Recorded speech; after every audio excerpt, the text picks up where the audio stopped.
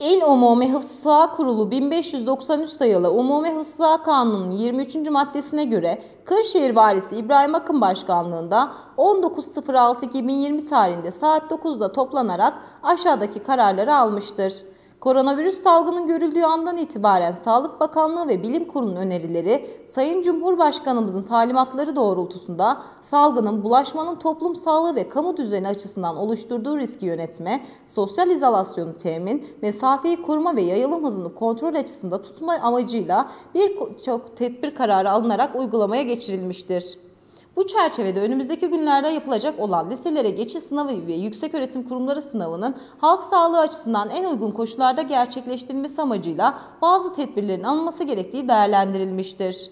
Bu kapsamda 5442 sayılı İl İdaresi Kanunu'nun 11C maddesiyle 1593 sayılı Umumi Hıfzı Kanunu'nun 27 ve 72. maddeleri uyarınca liselere geçiş sınavı 20 Haziran 2020 Cumartesi günü birinci oturumu 9.30'da başlayıp 10.45'te tamamlanacak, ikinci oturumu 11.30'da başlayıp 12.50'de tamamlanacak olan liselere geçiş sınavı öncesi ve sonrasında oluşabilecek yoğunluğu ve bulaşma riskini azaltmak, sınavların sorunsuz bir şekilde yapılmasını temin etmek amacıyla amacıyla 20 Haziran 2020 Cumartesi günü 9 ila 15 saatler arasında aşağıda belirtilen istisnalar hariç olmak üzere ilimiz sınırları içerisinde bulan vatandaşlarımızın sokağa çıkmaları kısıtlanmıştır.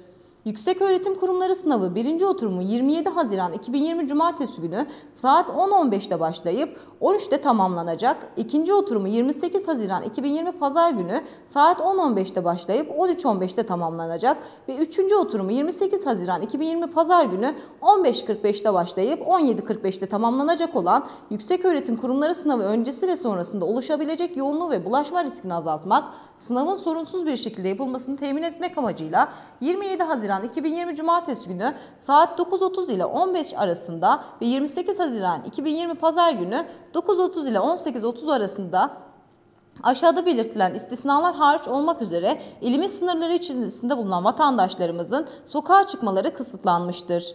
Gerek LGS gerekse YKS sınavlarına girecek adayların sınav binasına ulaşmanın toplu taşıma ile sağlanması halinde kendilerinin yanı sıra bir yakını özel araçlarla gelinmesi halinde ise araç sürücüsü ile birlikte bir yakını sokağa çıkma kısıtlamasına tabi olmayacaktır.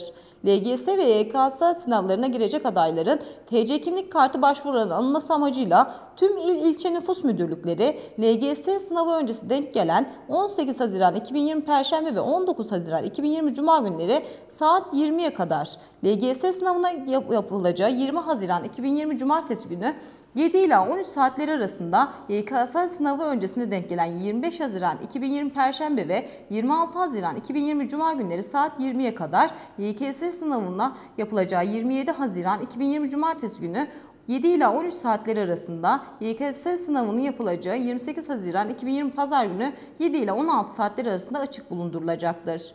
LGS ve YKS sınavlarında yapılacağı günlerde başta sınava girecek adaylar ve yakınları ile sınav görevlilerinin şehir içi toplu ulaşımında herhangi bir aksama olmaması için belediyelerce gerekli tedbirleri alınacak ve ihtiyaca göre sefer sayıları artırılacaktır. Şehirler arası toplu ulaşım araçlarından biletleme yapmış olanlar sokağa çıkma kısıtlamasına tabi olmayacaklardır.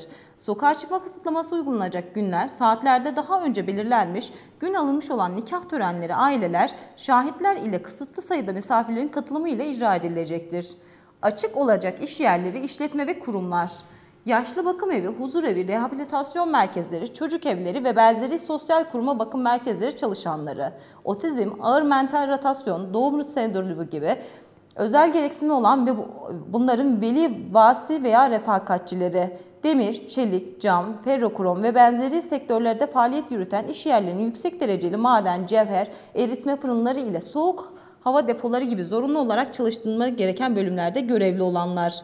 Bankalar başta olmak üzere yurt çapında yaygın hizmet ağı olan kurum, kuruluş ve işletmelerin bilgi işlem merkezlerinin çalışanları, bitkisel ve hayvansal ürünlerin üretimi, sulaması, işlenmesi, ilaçlaması, hasatı, pazarlaması ve nakliyesinde çalışanlar, küçükbaş, büyükbaş hayvanları otlatanlar, arıcılık faaliyetini yürütenler. İçişleri Bakanlığı İller İdaresi Genel Müdürlüğü'nün 30.04.2020 tarih ve 7486 sayılı genelge kapsamında oluşturan hayvan beslenme grubu üyeleriyle sokak hayvanları besleyecek olanlar, ikametin önü ile sınırlı olmak kaydıyla evcil hayvanların zorunlu ihtiyacı karşılamak üzere dışarı çıkanlar.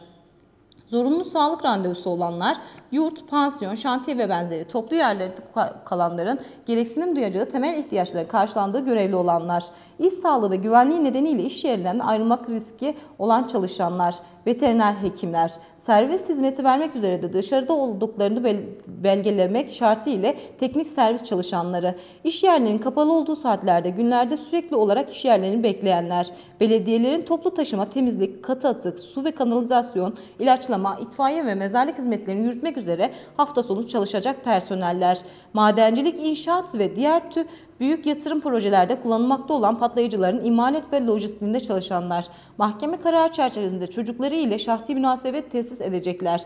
Serbest muhasebecilik mali müşavirlik, yeminli mali müşavirler ve mesle e, bu meslek mensupları ile beraber çalışanlar. Belirtilen istisnalar dışında tüm vatandaşlarımızın evlerinde kalması esasdır. Yukarıda belirtilen kararlara uymayanlar hakkında 1593 sayılı Umumi Hıfzı Kanunu'nun 282. maddesi uyarınca idari para cezası verilmesi başta olmak üzere aykırılığın durumuna göre kanun ilgili maddeleri gereğince işlem yapılmasına, konusu suç teşkil eden davranışlara ilişkin 5237 sayılı Türk Ceza Kanunu'nun 195. maddesi kapsamında gerekli adli işlemlerin başlatılmasına oy birliğiyle karar verildi.